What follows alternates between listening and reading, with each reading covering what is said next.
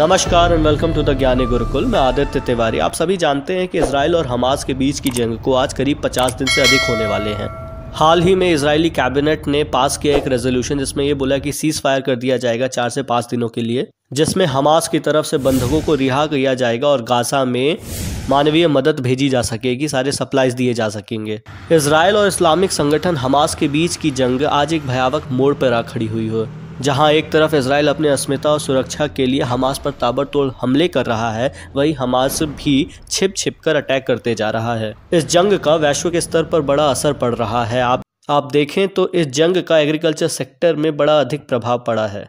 भारत में खेतों में उपज बढ़ाने के लिए फर्टिलाइजर्स का इस्तेमाल किया जाता है। तीन मुख्य फर्टिलाइज़र है। पहला यूरिया, दूसरा है म्यूरेट ऑफ़ पोटैश, तीसरा है डायोमोनियम फॉस्फेट। और इन फर्टिलाइजर्स की पूर्ति करने के लिए हम ढेर सारा इंपोर्ट करते हैं, चाहे रशिया हो बेलारूस और साथ ही साथ इसराइल से भी। यूरिया और डायमोनियम फॉस्फेट थोड़ा बहुत हमारे देश में बनता भी है, लेकिन जो म्यूरेट ऑफ़ पोटैश है यह हंड्रेड परसेंट इम्पोर्ट करता है भारत। इसका मतलब हमारी खाद्य सुरक्षा के लिए म्यूरेट ऑफ़ पोटैश जैसे उर्वरक बहुत ही महत्वपूर्ण हो जाते हैं। वैश्विक स्तर पर इसराइल म्यूरेट ऑफ़ पोटैश का बहुत बड़ा निर्यातक है। ग्लोबल सप्लाई में इसका शेयर करीब तीन परसेंट है। अगर आपको ये आंकड़ा बहुत छोटा लग रहा है तो आप इस बात से समझिए कि ग्लोबल एक्सपोर्ट्स में इंडिया के एक्सपोर्ट तीन परसेंट से भी कम है। तो इसका अगर आप कंपैरिजन देखते हैं इसराइल के साइज़ के द्वारा तो उनका तीन परसेंट म्यूरेट ऑफ़ पोटैश का एक्सपोर्ट बहुत अधिक है। नॉर्दर्न इसराइल में एक बंदरगाह है, जिसका नाम है आशदौद। इस आशदौद बंदरगाह में जो मिलिटेंट्स उन्होंने ढेर अटैक किए थे, जिसके कारण यहाँ की व्यवस्थाएँ छिन्न भिन्न हो गई थी। हमास जैसे आतंकवादी संगठन पहले ये कोशिश करते, प्रयास करते हैं कि सामने वाले देश के आम लोगों को चोट पहुंचाई जाए, जब वो उसमें असफल रहते हैं या मान लीजिए सफल भी हो जाते हैं तो उसके बाद उनकी यह चाहत होती है कि वैश्विक स्तर पर किस तरीके से हम डैमेज कर सकते हैं। हाल के सालों में इसराइली मैन्युफैक्चरर्स ने आजदौद बंदरगाह पर अपनी निर्भरता दिखाई है। उन्होंने एक्सपोर्ट करने के लिए इसी बंदरगाह को चुना है। भारत की कई फर्टिलाइज़र कंपनीज़ हैं। इस जंग के बाद उनके स्टॉक प्राइसेस बहुत ऊँचे उठ गए हैं। इस कारण क्या है कि उनके पास भी जो डीलिंग होती है म्यूरेट ऑफ़ पोटैश की वही है। जैसे Gujarat state fertiliser and chemicals limited fertiliser and chemicals Travancore Gujarat Narmada valley fertiliser and chemicals Madras fertilisers इन सभी के स्टॉक प्राइजेस में बड़ा उछाल देखा गया। कारण क्या है कि सप्लाई कम होगी तो इनका प्रॉफिट वैसे ही बढ़ जाएगा। लेकिन यह छोटी चीज़ है। मान लीजिए इन्वेस्टर्स को तो फ़ायदा हो गया, लेकिन जो आम किसान है, उनके लिए बहुत दुखदायी खबर है ये।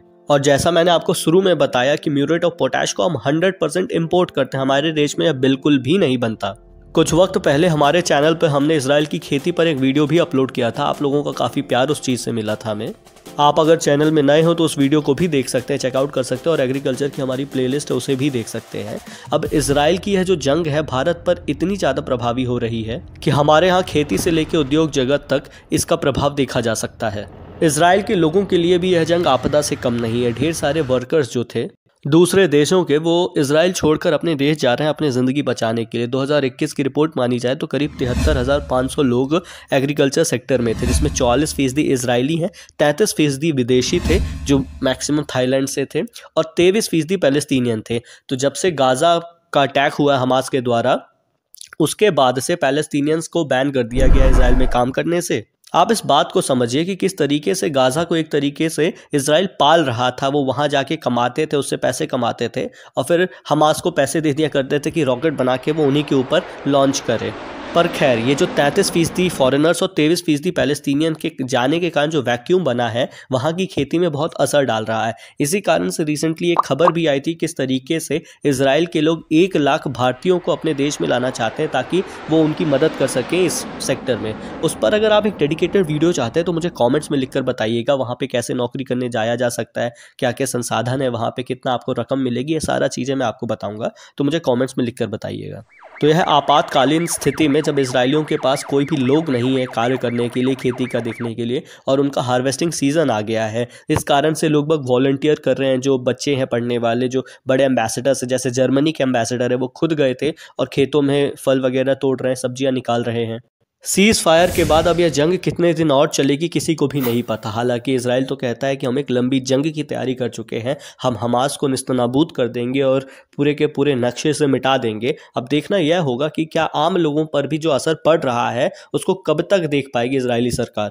एक बड़ा प्रश्न यह उठता है कि म्यूरेट ऑफ़ पोटैश जैसे कि 100 परसेंट इम्पोर्ट किया जाता है तो क्या उसके प्राइजेस में बहुत ज़्यादा हाइक आ जाएगा? तो देखिए, इसका उत्तर है नहीं, इतना ज़्यादा नहीं आएगा, क्योंकि जैसे मैंने आपको शुरू में भी बताया कि बेलारूस और रशिया के ऊपर दबाव डाला गया था तो उनका ज़्यादा कोई ले नहीं रहा था ये उर्वरक। तो अब मार्केट में भारत तो वैसे भी लेते ही है, रशिया से काफ़ी कुछ सामान तो हम रशिया और बेलारूस से मंगवा लेंगे तो उतना असर नहीं पड़ेगा। हाँ थोड़ा बहुत हो सकता है पड़े, पर क्योंकि सरकार वैसे भी सब्सिडाइज देती है तो हमारे आम किसानों तक यह असर नहीं पहुंचेगा। बस एक चीज़ में कमी आ सकती है कि यह किसानों तक पहुँचने में थोड़ा ज़्यादा वक्त ले सकता है, पर यह देखना होगा। जंग अक्सर बड़े बड़े नेता अपने कमरों में बैठ कर लड़ते हैं, ये किसी के हित में नहीं होती है, और आपातकाल की जो स्थिति पैदा हुई है वैश्विक स्तर पर, खेती किसानी पर काफ़ी असर डाल रही है। अभी आपको याद होगा किस तरीके से एक शिप जो कि इसराइल से भारत की ओर आ रही थी, उसको यमन के लोगों ने हाईजैक कर लिया था। यमन के यह आम लोग नहीं है ये हाउदी रिबल्स कहलाते हैं। इनका एक वीडियो भी बहुत वायरल हुआ था, आप इसे देखिए साथ साथ तो किस तरीके से एक हेलीकॉप्टर की मदद से वो उसमें लैंड करते हैं और बिना रेजिस्टेंस के लोग बाग सामने सरेंडर कर देते हैं, जो कि सही चीज़ भी थी। आप इस बात से भी समझिए कि वैश्विक स्तर पर ये जो प्राइजेस बढ़ रहे हैं, वो इस चीज़ का भी इंडिकेशन है कि उन्हें डर है कि ऐसे ढेर सारे हाईजैक और हो सकेंगे, क्योंकि ये बहुत ही ज़्यादा इंपॉर्टेंट पासवे है बबल मंदिर, क्योंकि स्विस कैनाल से कनेक्ट करने के बाद मेडिटेरियन में कनेक्ट होता है मतलब कि भारत को यूरोप से कनेक्ट करने का रास्ता है, और ये बहुत इंपॉर्टेंट ट्रेड रूट है। यह सारी चीज़ें सवालिया निशान पैदा करते हैं कि किस तरीके से जो बड़े नेता हैं वैश्विक स्तर पर हो रही इस हलचल को संभालेंगे और एक संतुलन बना के रख पाएँगे। जंग से खेती किसानी में बदलाव हो जाता है, उन्हें आर्थिक नुकसान होता है, उनके एक्सपोर्ट्स पर काफ़ी इम्पैक्ट पड़ता है। उनकी सुरक्षा पर सवालिया निशान पैदा होता है, साथ ही साथ जो उनको भावनात्मक क्षति होती है, उसका तो कोई हिसाब ही नहीं। आपको क्या लगता है, भारत कितना प्रभावित होगा इसराइल और हमास के बीच की इस जंग से? अपने विचार हमें कमेंट्स में लिखकर बताएँ। साथ ही साथ द ज्ञानी गुरुकुल को सब्सक्राइब करें। मिलते हैं अगले वीडियो में। तब तक अपना ख्याल रखें।